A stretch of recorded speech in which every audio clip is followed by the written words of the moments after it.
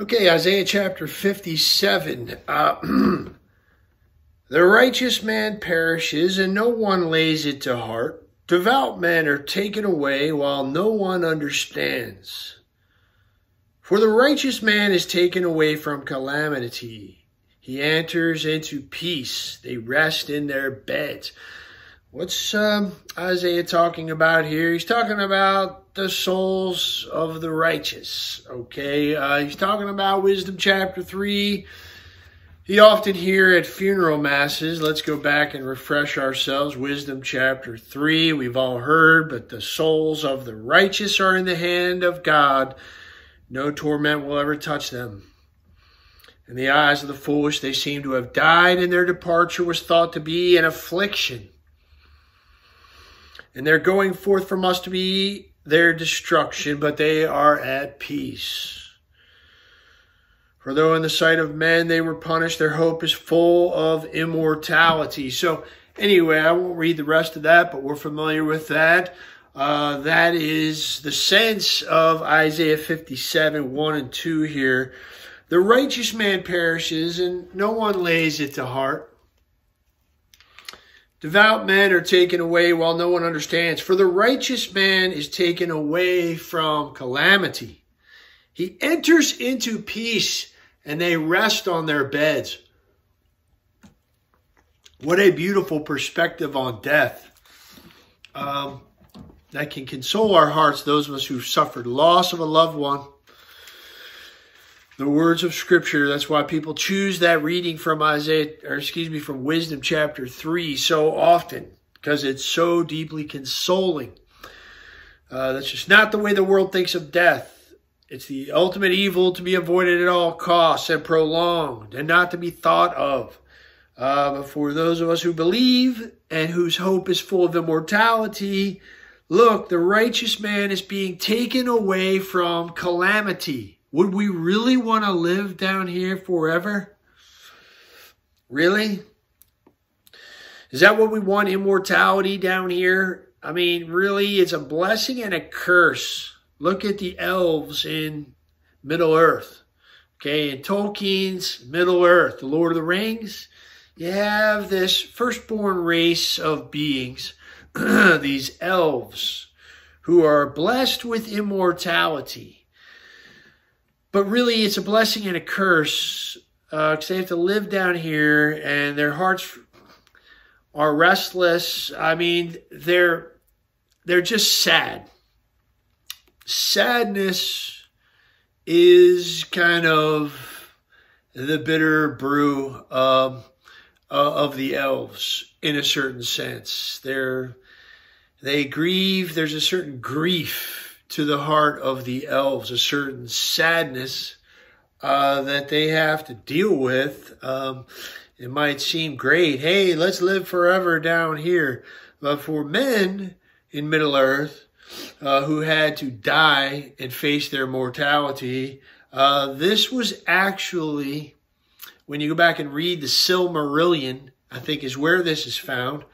Uh, or maybe it's in the Lord of the Rings. I'm not sure where but I want to say in the Silmarillion that it was always conceived of as a hidden blessing for men that they would die and that they wouldn't be faced with immortality down here in this calamitous situation of sin, death, and the devil. Is that what we want? Uh, to just continue living on and on and on and on uh, down here. You get world weary after a while when you get kind of cynical and hardened by life. And, you know, um, death is a release uh, from this affliction down here. Yes, I mean, it's, it's a sad thing. Uh, but with a Christian attitude about it, uh, we see beyond to the ultimate reality and to the life on the other side. Uh, that God blessed us in the beginning when He kicked us out of that garden and He shortened our lifespan. In a certain sense, it was a blessing that we don't have to, you know, we'll sin less. The longer we're down here, the more we sin. It just, uh, You know, we think of it as this terrible thing, but actually it was God's mercy that uh, we only live for a shorter, a short time. Now, um, moving on, uh, there's just um, a tremendous rebuke here in chapter 57 of the Israelites, of the Jews who return and fall into the same old, same old. Boy, it's just a story of salvation. It's just same old thing. They're going to burn with lust among the oaks and under every green tree, and they're going to slay their children and offer them as sacrifices to this god Molech.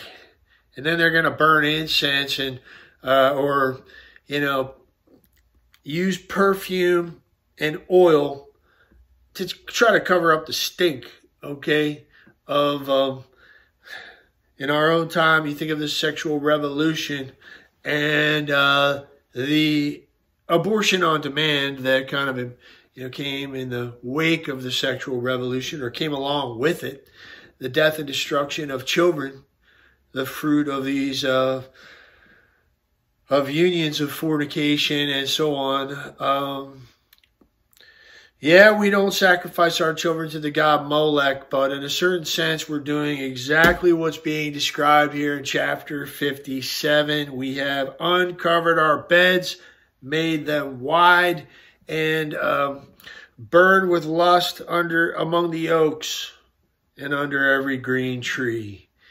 It's pagan idolatry in a certain sense, even though if it isn't explicit or, you know, consciously willed as such uh, really, in essence, that's what we're doing. It's substantially the same in our own time.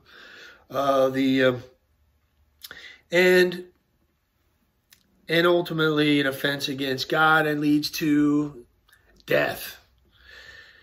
Among the smooth stones of the valley is your portion. Really, that's an indication of an improper, you know, a uh, not a proper burial is what's uh, being evoked there. Um, now, there's hope. Tremendous hope in chapter 57 here. You've loved their bed, you have looked on nakedness, you journeyed to Molech. You sent your envoys far off and sent down even to Sheol. Now listen to this. You were wearied with the length of your way. You know, you're on the way on the highway to hell. Um, I won't sing that ACDC song for you right now. You were wearied with the length of your way, headed down to Sheol, on the highway to hell. But you did not say it is hopeless. You did not say it is hopeless. Even though you're weary, you're weary. It's wearisome. This life, this pursuit of uh, uh, godlessness, wickedness, uh, leaves us restless. You know, we just never really can satisfy ourselves. Uh, the wicked are like the tossing sea at the end of the chapter. That's what we're going to hear. It cannot rest. There's no rest. There is no peace, says my God, for the wicked. The wicked are like the tossing sea, for it cannot rest. Where Jeremiah says it really well too, Jeremiah 2.13, You have rejected me, the fountain of living waters, and hewn out cisterns for yourselves, broken cisterns that can hold no water. And you're just going to go like the Samaritan woman back and forth to that well to one husband after another, after another, after another, and now the guy you're living with isn't even your husband.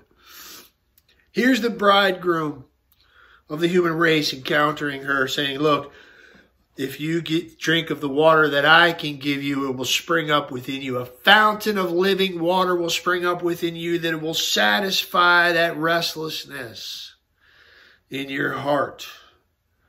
All right. So, look, you got to hit rock bottom. And I think there's a lot we can learn about any type of addiction here because, uh, you know, in, in, this case, we're, you know, it's it's fornication or adultery, but uh, ultimately this wickedness applies to anything, anything that we place before God, any creature that we put in place of God um, is a form of idolatry. And all these uh, addictions that afflict us, the human race, uh, are ultimately reducible to this for a form of idolatry, and they just torment us, and we are wearied by them. Uh, and we're they're taking us down to Sheol, and you were wearied with the length of your way. Just um, increasingly uh, a loss of return on our investment. We as with any addiction, you build up this tolerance and you need more of the drug or of whatever it is, of the activity. You need more of it. More, more, more, more, more, more, more. You can never have enough and never satisfied. But you did not say it is hopeless. You were wearied from the journey, but you did not say it is hopeless. That's what I want to stop and pause on for a second because I think there's some real uh, crossover insights here into Alcoholics Anonymous, the big book of Alcoholics Anonymous. This is a little book here, but it's really the first portion of the big book entitled Alcoholics Anonymous, written by the founders of that program that has changed so many hopeless lives people who admitted they were hopeless. That's the first step of any of these 12 step programs to admit that you're powerless, okay, that you have no hope. Until you reach that point and say, it is hopeless, uh, you're just going to continue on this path to hell, to Sheol, to death. Okay, you did not say it is hopeless. You found new life for your strength, and so you were not faint. So, you know, it's like the, saying goes you, you got to hit rock bottom. You got to hit rock bottom with these things. Sometimes people are hard headed. Not in every case. Sometimes people pull back from an addiction. They see an addictive pattern taking form in their life and they pull back from it. But often is the case with people, they have to hit rock bottom their wife or their husband leaves them or they're uh, they lose their job or they wreck their car, they get thrown in prison or they get told by their doctor, if you don't stop this, you're going to die. Uh, something jars them, jolts them. Their life becomes completely unbearable, uh, and uh, and they they reach this point of hopelessness. Now, I want to read from uh, Alcoholics Anonymous here because there's some brilliant insights in here about addiction. And here's Bill. Bill Wilson is one of the co-founders of Alcoholics Anonymous, and uh, in his story at the beginning of Alcoholics Anonymous, the book, the big book, on page 11 here, it says uh, he encounters he he's basically at his wits end with alcohol and he uh, he receives a visit from a friend, another alcoholic who has found recovery. And this alcoholic uh, comes to him, comes into his house, sits down in his kitchen, and starts giving him his testimony, basically kind of witnessing to him, uh, twelve stepping him, uh, you know, uh, reaching out to another alcoholic and telling his story, showing him a pathway to hope. And a solution to his problem in finding a higher power, finding God uh, who could solve this problem for us. My friend sat before me and he made the point blank declaration that God had done for him what he could not do for himself. His human will had failed. And he was ready to admit that to himself, to God, to other people. I am hopeless. I am a hopeless cause. I am powerless over this substance, whatever it might be, in this case, alcohol. He made this point declaration. God rescued him. Okay. And uh, from a hopeless situation. Um, now, Bill looks at this guy, Bill Wilson, and he sees there's something different about this guy. I saw that my friend was much more than inwardly reorganized. Okay, this wasn't just some human endeavor, some self improvement, self help program he read. Um, no, no. Bill says he was on a different footing. His roots had grasped a new soil.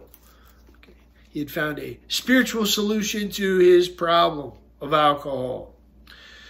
Um, now, Bill says, I finally placed myself unreservedly under God's care and direction.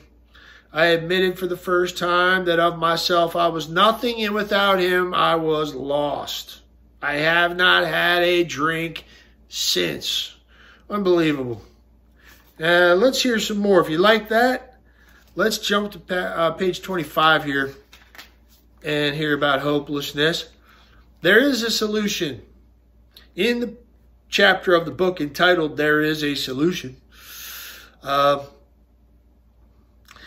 but we saw that it really worked in others and had come to believe in the hopelessness and futility of life as we had been living it. Okay, they had come to believe in the hopelessness and futility of life as they had been living it. Um, Now, uh, how about one more here? How about uh, 48? In that respect, al- I love I love this. In this respect, alcohol was a great persuader. It finally beat us into a state of reasonableness. Sometimes this was a tedious process. We hope no one else will be as prejudiced for as long of time as some of us were. Okay uh, a great persuader. So any of these ways that we choose of idolatry, basically, Isaiah is saying the same thing in chapter 57 here. We go down those paths, we pursue those things, and try to fill that cistern. We're just going to keep going back to it again. We're going to be thirstier and thirstier. It's going to become this wearisome, long journey, spiraling down to death, ultimately, to Sheol. Um, and we got to reach this point where we say and admit to ourselves and to God and to others, it is hopeless. It is hopeless. If we refuse to do that, we're just going to keep going, keep going, keep going. But uh, the beautiful, beautiful thing here is it's in God's paternal ingenuity. He allows these things to afflict us and weary us. You know, they uh, they come with a certain price tag. All these addictions and there's just tremendous suffering. The uh, uh, the basically the side effects are terrible and destructive. Uh, anytime we try uh, any of these shortcut solutions to finding peace in this life or finding happiness in this life, apart from God and His ways, uh, we just cause tremendous suffering for ourselves and other people. And alcohol is a great persuader. It finally beat us into submission, beat us into a state of reasonableness. That's the hinge of an addiction, an, addi- an addict's recovery hinges on this state of reasonableness where they admit the hopelessness and futility of their situation, of their addiction, and they turn to God. Now let's move on here. Verse 11. Whom did you dread and fear so that you lied and did not remember me? Not me, but God. Uh, God speaking here to the wicked, for to those who are idolatrous, okay, to addicts, I would maintain. Whom did you dread and fear so that you lied and did not remember me? Did not give me a thought? Have I not held my peace even for a long time, and so you did not fear me? God like tolerates this behavior. He's long suffering, uh, waiting for us to reach this watershed moment of he he lets us spiral down and make these choices like the prodigal son until we come to ourselves, come to our senses like the prodigal son who's ready to just fill his belly with the husks that the pigs were feeding on. Okay, God is willing to let us take our inheritance and and splurge and just uh, in riotous living. Go ahead, go out there, have at it. If you want to do that, go ahead, but you're going to suffer the consequences of it. You're going to be left hungry and empty and lonely and everything else. And hopefully that is going to bring you to your senses. So let's go back over this verse 11, which is so powerful here. Whom did you dread and fear? Whom did you dread and fear, so that you lied and did not remember me, no, nor give me a thought? Fear is a huge aspect of overcoming addiction, rooting out fear from our lives. Alcoholics Anonymous and 12 step programs, they know that. Uh, fear is something that absolutely has to be removed from our life as much as possible. And Isaiah gets this. Um, the whole of the scriptures is about trying to remove fear from our life. Be not afraid. Remember that? Saying of St. John Paul II, simply what our Lord often said, what you hear throughout the scriptures, God continuously telling us, and angels telling us, and don't be afraid. Be not afraid. Don't be afraid of what the world's afraid of. Isaiah said that back in chapter 8. Let's look at that real quick because that's really good. Um, God says, Do not fear what they fear, people in the world. Don't fear what they fear, nor be in dread. But the Lord of hosts, him you shall regard as holy. Let him be your fear. Let him be your dread in a certain sense. You know, um, what does he mean there? Basically, not that we're to be cowering in fear from God in some kind of servile sense, but that we treasure this covenant so much. We keep this covenant and we protect and guard it. This intimacy, this fellowship we have with God as his children. And we want to do things that are pleasing to him. We don't want anything to disrupt this covenantal relationship that we have with Almighty God.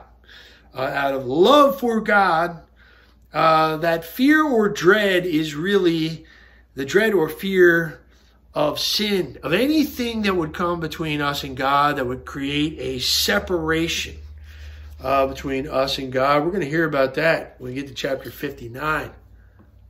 How sin causes this separation. And um, so back to the fear. Whom did you dread and fear? Don't fear what the world fears. Don't fear run and run around and be anxious about what you will wear. Our Lord says this kind of things. Look at the bird, you know, look at the lilies, look at the birds. All right. Look, God, your heavenly Father knows what you need. Don't run around and be anxious what you wear, what you eat, and so on. The world runs after those things and is fearful about those things. Um, don't be fearful of these things in the same way that the world is. That's a worldly attitude that we got to root out of our lives. And let's turn to alcohol, the book of Alcoholics Anonymous, and look at this incredible wisdom here. The 12 uh, step programs, they know we got to get rid of anger and fear out of our lives. They're the two chief offenders that drive us um, away from God destroy and undermine our spiritual lives, all of us. Fear and anger, resentment and anxiety. These two things just are corrosive uh, to our spiritual life. And we have to continuously fight against them. All right. So it was fear was an evil and corroding thread, the big book says. The fabric of our existence was shot through with it. But we reviewed our fears thoroughly. We asked ourselves why we had them. Wasn't it because self reliance failed us? In other words, look, look here. Whom did you dread and fear so that you lied and did not remember me, nor give me a thought? I mean, that's a description of self reliance. Uh, self reliance failed. We asked ourselves why we had all these fears Wasn't it because self reliance failed us? Because we had forgotten God. We haven't given him a thought. We haven't made him our refuge and shelter. Um, so perhaps there is a better way. We think so, for we are now on a different basis the basis of trusting and relying upon God. We trust infinite God rather than our finite selves. We are in the world to play the role He assigns, just to the extent that we do as we think He would have us and humbly rely upon Him. Does He enable us to match calamity with serenity? Now, um, let's look at the second half of verse 11 here.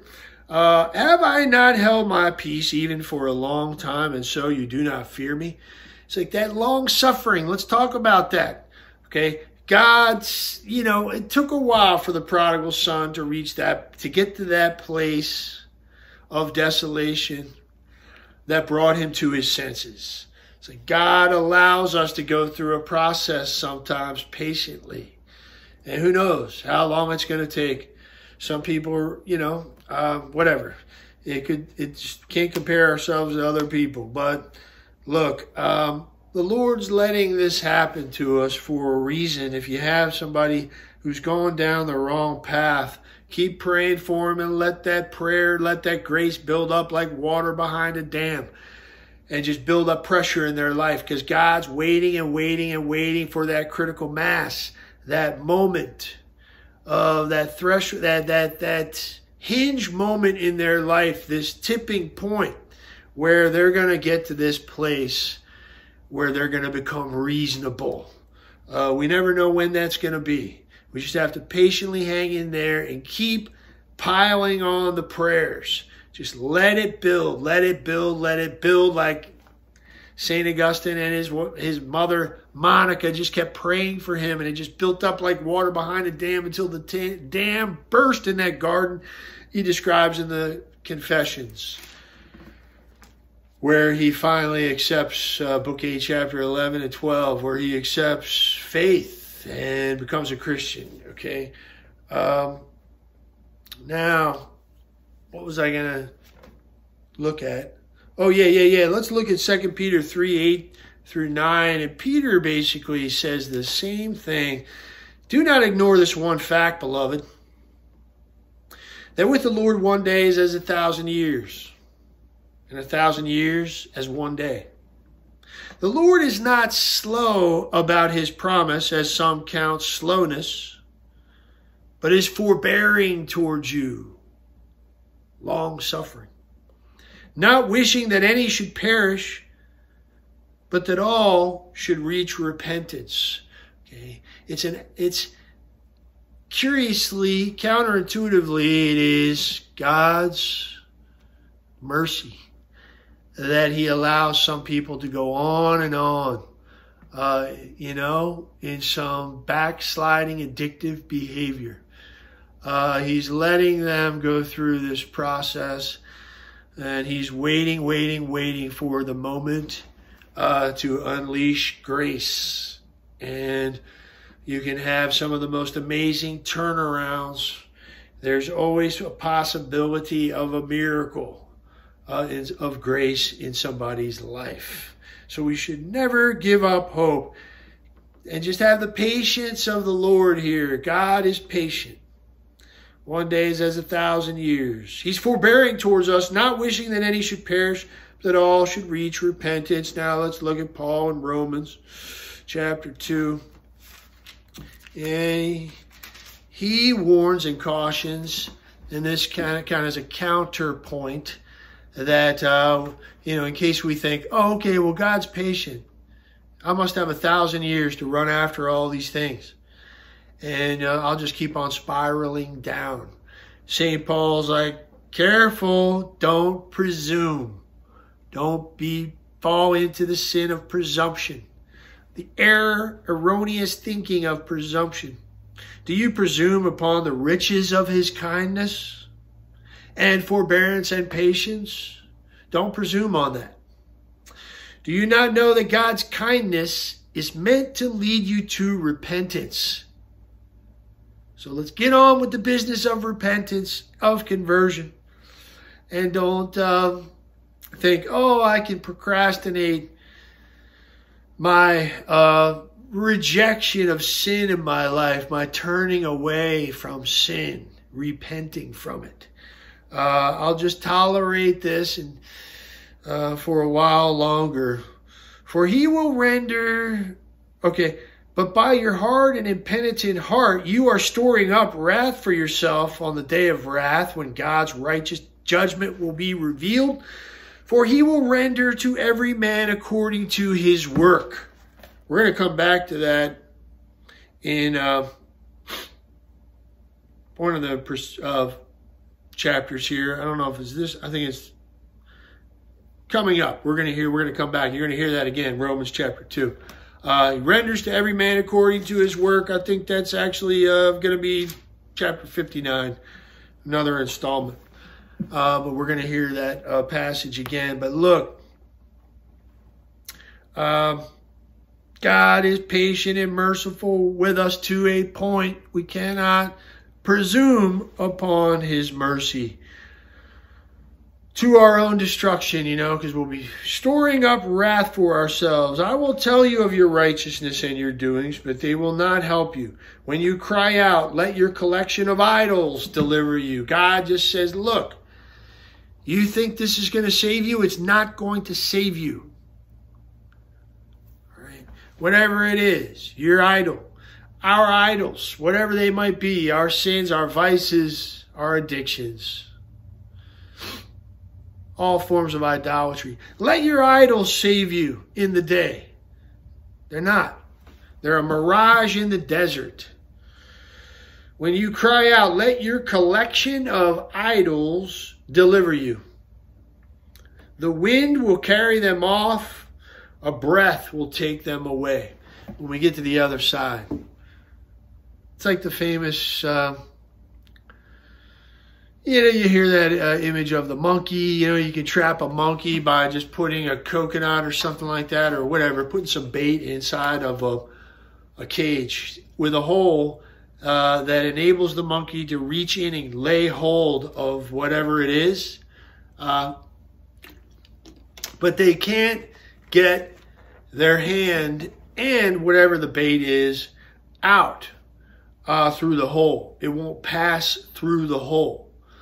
So apparently you can actually trap a monkey by doing this and they will sit there desperately trying to get that thing out of the hole. And you can just walk up and throw a net over them or put a rope around them uh, because uh, all they have to do is let go of that thing and run off and they would be rescued or delivered. Um, I don't know how that fits in here, but just this idea the wind will carry them off, a breath will take them away. They're nothing and less than nothing. Vanity of vanities. There's nothing there. Vanus. Remember where we get the word vanity? Nothingness. There's nothing there. Ultimately, can save or deliver us we are doomed to be like the tossing of the sea. Cannot rest. All right, now, uh, buddy, let's hear something hopeful. You ready for something hopeful and consoling? Let's shift gears back to hope and consolation. But he who takes refuge in me, the Lord says, shall possess the land and shall inherit my holy mountain, Eden, the Garden of Eden. If we take refuge in the Lord, how much better is the Lord than these idols? There's no comparison. Where would we rather be? Holding on to this stupid idol or addiction, which is destroying us and undermining us. Would we rather have that or God's holy mountain. So there's a certain enlightened self-interest, a positive argument here that God uses through Isaiah. And God is continuously appealing to us, look, this is for your own good. Look, I am your healer. Uh, look, what I'm giving you is so vastly superior. uh, to anything the world offers. He who takes refuge in me shall possess the land and shall inherit my holy mountain. Take refuge in me. And that's exactly what people in Alcoholics Anonymous, I love Bill here. He describes his story. He says, uh, it's like being rocketed into a fourth dimension, um, is how he describes the experience of finding relief, a solution to his problem. It's like he was rocketed into a fourth dimension. I love that image.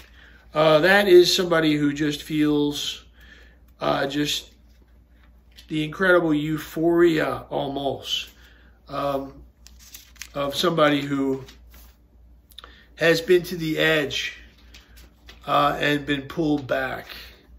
And I love it. Rocketed into a fourth dimension that is so superior. The life, the richness, the blessings of those who turn away from substance abuse of all kinds or any type of addiction. God compensates, man, what He gives us is this fountain of living water that springs up inside of us that is truly restful and gives us the joy and delight in His presence and leads us to his holy mountain. It's so vastly superior. Eye has not seen, ear has not heard. We got to be convicted by this argument God's making with us and let go of our sins. Let go of them and choose God and his ways. And it shall be said, Build up, build up, prepare the way, remove every obstruction from my people's way. Sounds like the beginning here. I mean, sounds like back in chapter 40, this description of the ministry of St. John the Baptist to prepare the way of the Lord. Uh, these words that are always accompanying uh, the ministry of St. John the Baptist a voice crying in the wilderness, Prepare the way of the Lord, make straight in the desert a highway for our God, chapter 40. This comfort that God gives, and um, and He wants us to smooth out uh, this and create, you know, fill in the valleys, and um, the uneven ground shall become level. Every mountain and hill will be made low. Um, prepare, build up, build up, prepare the way, remove every obstruction from my people's way to this holy mountain that he wants to lead us to. Paradise, eternal blessedness, sharing the inner life of the Blessed Trinity forever. Rest for our hearts to become fully alive and reach our fullest potential as God's creatures made in his image and likeness. That's our destiny. The insanity that we don't run, run towards this destiny. Instead, we cling to these things, to our sins. So build up, build up, prepare the way, remove every obstruction from my people's way, every impediment to the grace of God in our life. We got to remove and uproot. For thus says the high and lofty one who inhabits eternity, whose name is holy, I dwell in the high and holy place, and also with him who is of a contrite and humble spirit, to revive the spirit of the humble and to revive the heart of the contrite. For I'm not going to contend forever. I will not always be angry. His anger serves a purpose, his wrath serves a purpose. It's a it's it's it's all an aspect of God's mercy of His love because that's what He is. That's all He is. But it's a tough love, and He's desperate to win us back. Sometimes He lets us experience the pain and suffering of our choices, but there it's ultimately uh, motivated by His love. For from, from me proceeds the Spirit, and I have made the breath of life, this high and lofty one who dwells in eternity. Remember, that was the description of God, the high and lofty. Dwelt in this high and lofty place back in Isaiah chapter 6. I saw the Lord sitting upon a throne. High and lifted up, Um, God was high and lifted up. High and lifted up, sitting upon his throne. That's the very same description of uh, Isaiah uses in chapter 6 when he has the original vision of the Lord. Thus says the high and lofty one. Look, I'm looking for somebody who's contrite and humble. I'm waiting there for us to make our move. You know, His grace is just poised for us there to just take His grace and turn back to Him. It's constantly wooing our heart um, and drawing us towards life. This spirit, this breath of life from me proceeds the Spirit. I have made the breath of life. I am your healer. Listen to this. Because of the iniquity of his covetous, covetousness, I was angry.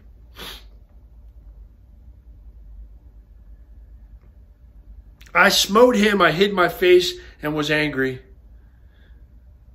That's just an aspect of God's love. Bear that in mind. But he went on backsliding in the way of his own heart.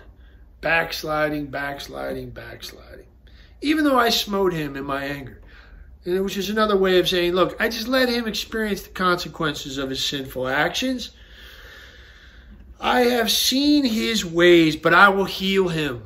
Listen to that note of hope in Isaiah 57 even though he's backsliding, backsliding, there's always hope. He's waiting. He wants to heal us. Oh boy, he loves us so much. I have seen his ways, this backslider, this addict, groveling in his addiction.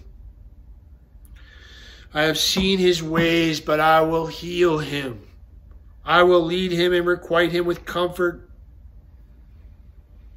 Peace, peace to the far and to the near, says the Lord, and I will heal him. Now, this can be interpreted different ways. I mean, St. Paul quotes this verse here peace, peace to the far and to the near, and he likens it to the Jews and the Gentiles. The Jews being the near, the Gentiles being the far. Peace, you know, and this dividing wall separating them has been removed. So that's kind of how Paul interprets it. Uh, yeah, and um, St. Paul's a lot smarter than me, but uh, I like to think of this in the context of um, sin here and immorality, the moral life and the spiritual life that we've been hearing about. I hear far and near, I think of, you know, look, somebody who's really wandered far from God and his ways, and somebody's closer, somebody who's near. Okay, peace, peace to the far and to the near, says the Lord, and I will heal him. And then lastly, the wicked are like the tossing sea, cannot rest, and its waters toss up mire and dirt. There is no peace, says my God, for the wicked. No peace for the wicked. I think um, that gets us to the end of chapter 57. We'll hit chapter 58 next time. God bless you.